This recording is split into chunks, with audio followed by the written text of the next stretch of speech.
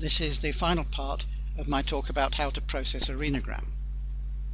In part 1 I gave an introduction and explained what a renogram is. In part 2 I explained the importance of background subtraction and showed how to see when it's been performed correctly. Uh, in part 3 I gave some real examples of different background subtraction methods and in part 4 I discussed how to draw the necessary regions of interest. In part 5 I described the recommended background subtraction methods, so now in part 6 I'm going, going, to talk about how we quantify the results, in particular to calculate the relative function of each kidney and their output efficiency. So if we look at the components that make up the renogram, if we plot activity against time, first of all we have an uptake component representing activity that's come into the kidney. That is a rising curve which gently flattens off. The rate at which it rises depends on how much there is in the blood. So early on when there's a lot in the blood it rises quickly and as the blood activity decreases it rises less quickly. Now in a normal kidney if there's just a simple delay between what comes in and what comes out the elimination what comes out is just a delayed version of the uptake curve with the time between them being the transit time through the tubules. So if we want to know what is left in the kidney, it's the difference between what went in and what came out. So the difference here, shown by these yellow bars, is the kidney contents, or the renogram curve. So this is yet another model showing what the shape of the renogram curve represents. And as we see, it's made up of uptake, which starts from the beginning and continues, and elimination, which starts after a few minutes, because elimination doesn't start until activity begins to come out into the bladder and that has a minimum transit the time it takes to get through the tubules of maybe three minutes. So what we want to do is to quantify uptake. So we really want to see the purple curve. All we have available is the renogram, the yellow curve.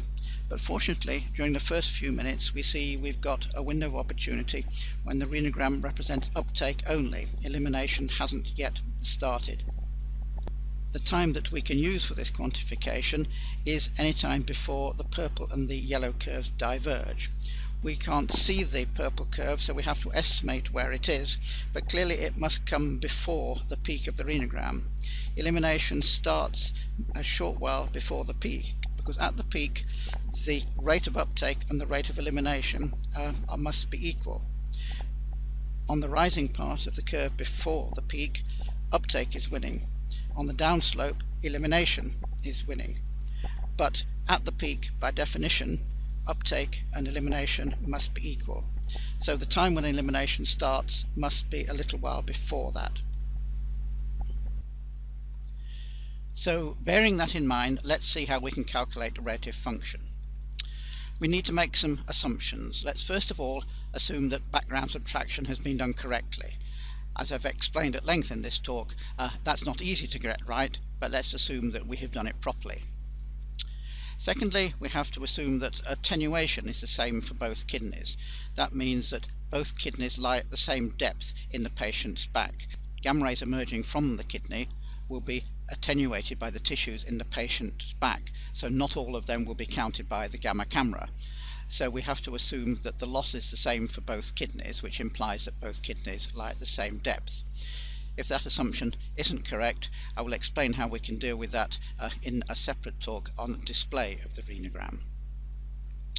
Thirdly, we have to assume that mixing is complete.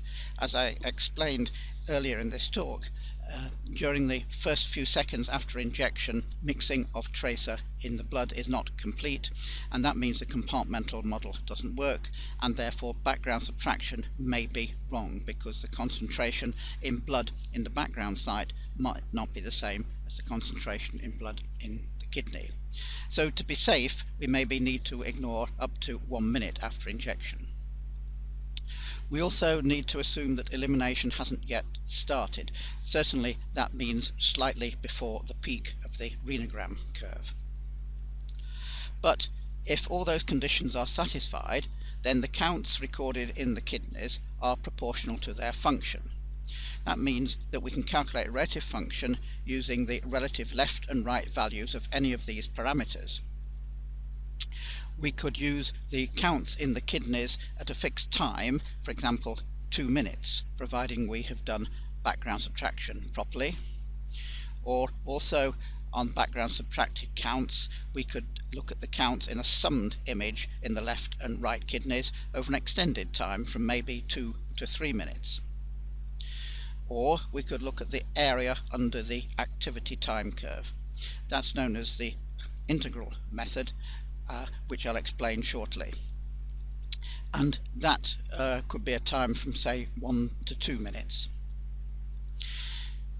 We could use the initial slope of the activity time curve, the rising part of the renogram.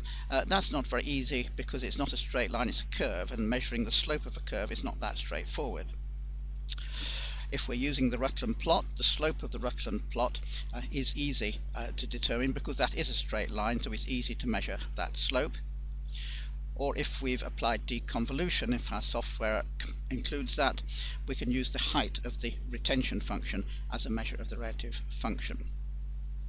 The recommended methods are the integral method or the slope of the Rutland plot, but any of these techniques should give the same relative function as long as the four criteria at the beginning are satisfied.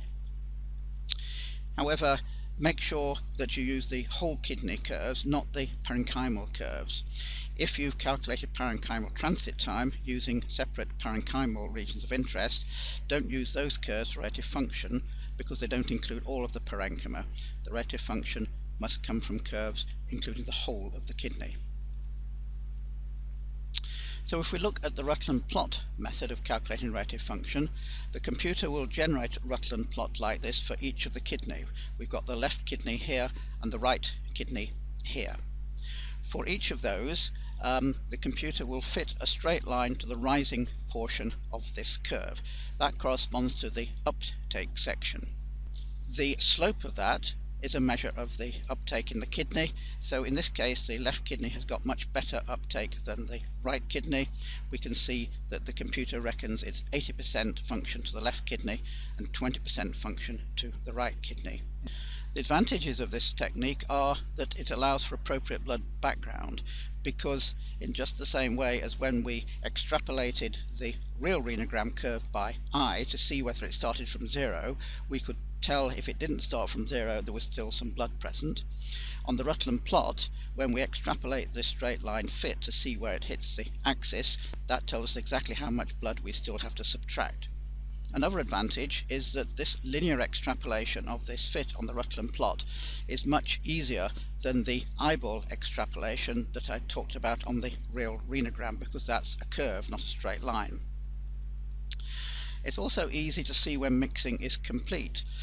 Here we can see on the left kidney that one point, the first point on this curve, lies below the straight line, isn't part of the fit, but the second point onwards are part of the fit, so this is equivalent to where the kink occurred in the real renogram, and we had to extrapolate. Here on the Rutland plot, we can see that we extrapolate the straight line fit, we can ignore the first point, and that is when mixing wasn't complete, but in this particular case mixing was complete clearly by the second point of the curve. Not only that, it's easy to see when elimination starts. In the real renogram, elimination started sometime before the peak when the renogram curve deviated from the uptake curve, but we didn't know where the uptake curve was. Here on the Rutland plot, the uptake curve is a straight line, so it's very easy to see where the points deviate from that straight line and that indicates where elimination starts. So it's not surprising that those advantages means that this is the most reliable method and it's the recommended method if your computer software allows it. If we look at the integral method to calculate relative function, first of all we have to ensure that background subtraction is correct that means that we need to ensure that the extrapolated curve starts from zero. So here I've included the dashed lines with the eyeball extrapolation to demonstrate that these curves are correctly subtracted. We have to choose an appropriate time interval so we start after mixing is complete. Uh, if we can identify a kink in the curve we could ignore everything before that kink. If not um, one minute should be safe. Everything before one minute must include the time when mixing is not complete. So if we want to be cautious, we start after one minute. We also have to end before either kidney starts to empty.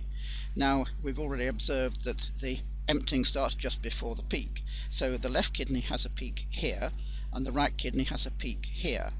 But uh, we've got to include the same time for both kidneys so we use the time of the earlier peak, in this case the left kidney, and emptying must have started shortly before that here on the time axis. So we can add up the total counts under each curve during this interval from this start time to this end time. And if we have CL counts underneath the left kidney and CR counts underneath the right kidney, then the relative function is the fraction of the total for each kidney. So the relative function of the left kidney is its count CL as a fraction of the total CL plus CR and multiplied by 100 to make it a percentage. And it's a similar expression for the right kidney. Note that by definition these two numbers must add up to 100% because they're the fraction of the total function due to each kidney. So this is the recommended method if you don't have the Rutland plot software available on your computer system. It should give a good answer providing you have correct background subtraction and you choose the start and end times of the integral appropriately for individual patients. Now I've talked about relative function and I've talked about background subtraction, but let's see how the two interrelate. Here are some curves that have been correctly subtracted. They start from zero. And let's suppose that the left kidney in blue has got 800 counts under that part of the curve and the right kidney 200 counts. So clearly the relative function of the right kidney is 20%. But if we were unfortunate enough to over subtract and take off too much background, if we had 100 too few counts in each curve, it would be 700 for the left and 100 for the right, which looks like 12% function to the right kidney. It's unlikely that we over subtract. What is more likely is that we will under subtract, in which case we would get 900 for the left kidney and 300 for the right, which makes the right kidney look like 25%. So by under subtracting we have overestimated the function of the right kidney. So clearly background subtraction is not just a cosmetic thing, it can affect the relative function. So if background subtraction is wrong, then the calculated relative function may also be wrong. The effect is worse when kidneys are unequal in function and when function is poor. If function is equal, so it's 50-50, then under or over subtracting will probably hardly change that because it takes the wrong amount of both kidneys equally. Now to quantify elimination. We can measure something called output efficiency.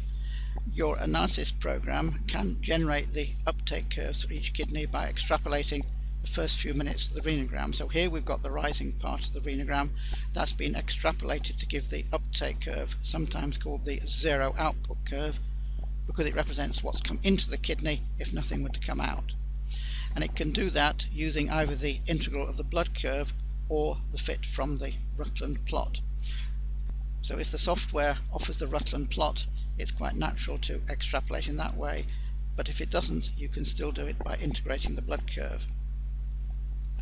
Now we can measure the output efficiency as what came out divided by what went in. What went in is the uptake curve, what comes out is the difference between the uptake curve and the renogram. So at any time we can measure this output efficiency. Uh, there are actually two slightly different versions. St Bartholomew's Hospital in London um, suggested renal output efficiency ROE, whereas Great Ormond Street Hospital suggested pelvic excretion efficiency PEE. Pelvic excretion efficiency is calculated by generating the uptake curve by extrapolating from the Rutland plot, whereas renal output efficiency is calculated by using the integral of the blood curve. But as long as background subtraction is correct, both methods will give very similar uh, results. So these two techniques are virtually equivalent. Here's an example of pelvic excretion efficiency. The plot at the bottom shows the renogram for the left kidney in blue with an extrapolation showing blue dotted line which is the uptake curve or the zero output curve for the left kidney and in red we have the same thing for the right kidney. And in 30 minutes you can see that the uptake curve for the right kidney is here but what's actually left in the kidney is here. So 95% of what was in the kidney has come out. That's pretty good. Whereas for the left kidney at 30 minutes this is what has come into the kidney. This is what is left in the kidney. So 49% has come out. That's its pelvic excretion efficiency which is not nearly so good so this is how we can measure the output efficiency at any particular time. So in summary of this whole talk, the main thing is that the renogram curve can be used to quantify kidney function and if you're using technetium 99M mag3 that is better than technetium DTPA because there is more mag3 in the kidney and less in the blood and that makes background subtraction much easier. Correct background subtraction is important not only for cosmetic effects but because it can affect relative function but it's not easy to get right. You have to uh, allow for blood background as well as tissue background. The test for correct background subtraction which I demonstrated is that a renogram curve should rise smoothly from zero after extrapolation if necessary to overcome the early mixing phase and the Rutland plot is the most reliable method of doing that. It's recommended by the guidelines, but unfortunately not all nuclear medicine systems offer it, so you may not be able to use it on your system. Now, if you found these, this talk interesting, you may like to uh, watch some more of my renogram talks. I have a talk on how to display a renogram, which is the follow-on from this one about how to process a renogram. In that I include how to quantify absolute up uptake, not just relative function, and also how to allow for kidneys that might be at different depths. I have another talk on models of the renogram which shows several different models of the renogram in addition to the ones that I've shown during this talk. Uh, and the renogram, the Rutland Patlak plot explained, gives more details about the Rutland method of background subtraction. The renogram deconvolution explained shows how to calculate mean transit time from the renogram. And I have another one on diuresis renography which gives an explanation of diuresis renography and particular compares diuresis renography with mean transit time calculated by deconvolution. So you may find these talks useful if you want to know more details of any of these topics.